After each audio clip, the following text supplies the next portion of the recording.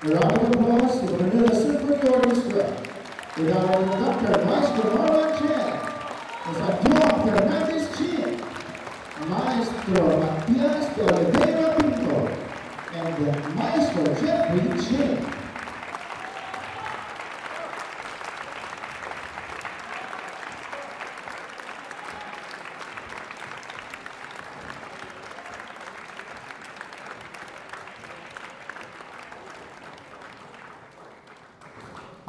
Thank you, thank you all for coming, really. Uh, This is what, this is what makes it so special to play for such an intimate crowd like yourselves here. So we thank you from the bottom of your hearts to come here tonight and and share this music with us, so thank you. Uh, The, the evening would not be fitting unless we really finish off with a Ching sandwich.